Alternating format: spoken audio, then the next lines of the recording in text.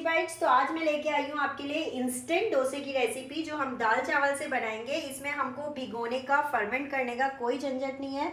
और अगर आपको मेरी रेसिपी अच्छी लगे तो प्लीज़ मेरे चैनल को सब्सक्राइब कीजिए और मेरी रेसिपी को शेयर एंड लाइक कीजिए। तो चलिए शुरू करते हैं रेसिपी बनाना। तो डोसा बनाने के लिए मैंने यहाँ पे लिए तीन कप चावल। ये नॉर्मल चावल ले सकते हैं, कोई से भी चावल ले सकते हैं, बासमती राइस टुकड़ी, कुछ भी ले सकते हैं। और एक कप मैंने लिए उड़द दाल, तीन कप चावल, एक कप उड़द दाल। इनको मैंने अच्छे से वॉश करके, तीन से चार बार वॉश करके आधे घंटे के लिए भिगो दिया था। इससे ज़्यादा भिगोने की ज़रूरत नहीं है।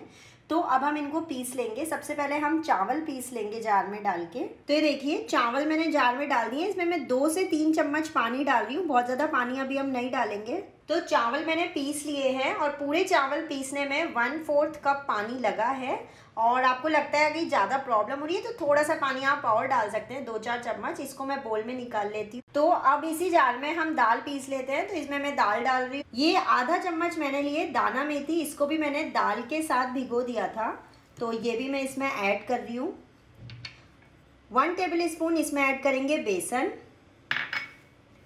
और इसमें हम ऐड कर देंगे सॉल्ट टू टेस्ट और इसमें भी अब हम तीन से चार चम्मच पानी डाल के और इसको भी अच्छे से पीस लेंगे। तो देखिए, दाल पिस गई थी हमारी। इसमें मैंने हाफ़ कप दही ऐड किया है जार के अंदर और इसमें हम ऐड करेंगे वन टीस्पून ऑयल तो दही और ऑयल डाल के भी हम एक बार और इसको ग्राइंड कर लेते हैं। तो हमारा दाल का बैटर भी पिस गया है। इसको मैं चावल के बैटर में मिक्स कर लेती हूँ।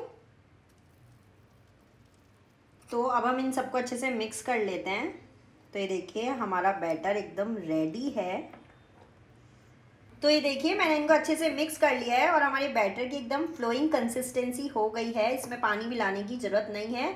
और आप भी चाहते हैं आपका डोसा एकदम परफेक्ट बने तो आप इस वीडियो को एंड तक देखिए। और अब हम इस बैटर को 15 मिनट्स के लिए साइड में रख देंगे। और तैयारी करेंगे मसाला बनाने की। तो मसाला बनाने के लिए गैस पे मैंने एक पैन रखा है, इसमें मैं ऐड कर रही हूँ टू टेबल स्पून ऑयल तो ऑयल में हम ऐड करेंगे वन टीस्पून राई फ्लेम को अभी मीडियम कर देंगे वन टीस्पून जीरा वन टीस्पून वाइट उड़द दाल वन टीस्पून चना दाल chop green chillies chop ginger और कुछ करी लीव्स हम इसमें ऐड करेंगे। और इन सबको अच्छे से मिक्स कर लेंगे और फ्लेम को लो टू मीडियम रखेंगे। अब हम इसमें ऐड कर देंगे चॉप्ड अनियन और इसको भी हम सॉटे करेंगे four to five minutes low to medium flame पर। तो देखिए हमारे अनियन बहुत अच्छे से कुक हो गए हैं, इसमें हम ऐड करेंगे। हमको इतना ही कुक करना है, बहुत ज़्यादा कुक नहीं करना है। वन टीस्पून हल्दी पाउडर सॉल्ट टू टेस्ट और half teaspoon red chilli powder इनको अच्छे से मिक्स करेंगे। और फ्लेम को अभी मीडियम रखेंगे और इसमें हम वन फोर्थ ग्लास पानी डालेंगे।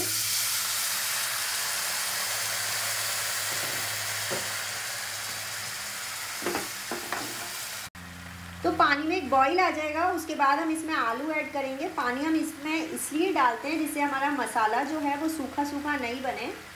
तो अब हम इसमें हमारे आलू ऐड कर देते हैं। बॉईल आ गया है। और इनको अच्छे से मिक्स कर लेते हैं।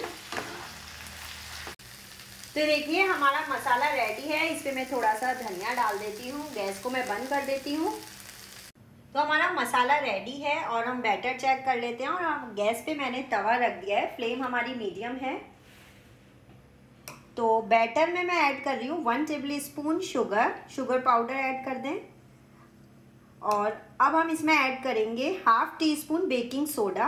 Baking soda हम जब ही ऐड करेंगे, जब हमको डोसे बनाने हैं, उसके पहले ऐड नहीं करेंगे। तो अब हम डोसा बनाते हैं। डोसा बनाने के लिए पहले अपन तवे को तैयार करते हैं तो इसके लिए मैंने थोड़ा सा ऑयल डाला है। इसको हम पहुँच लेंगे। फ्लेम बिल्कुल लो रखेंगे। अब हम इसको भी पहुँच लेंगे अच्छे से। और अब हम डोसे का बैटर स्प्रेड करेंगे।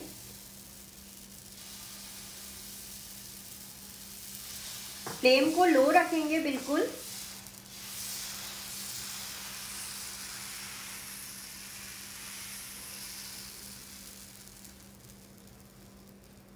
अब फ्लेम मैंने मीडियम कर दी है, इसके ऊपर हम थोड़ा सा ऑयल डालेंगे। और थोड़ा सा ऑयल साइड में भी डाल देंगे।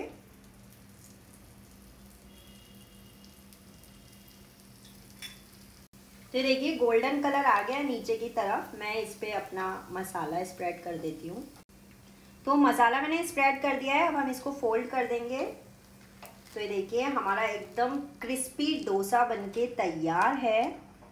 इसको हम प्लेट पे निकाल लेते हैं। तो फ्रेंड्स तैयार है हमारे दाल चावल के इंस्टेंट डोसे।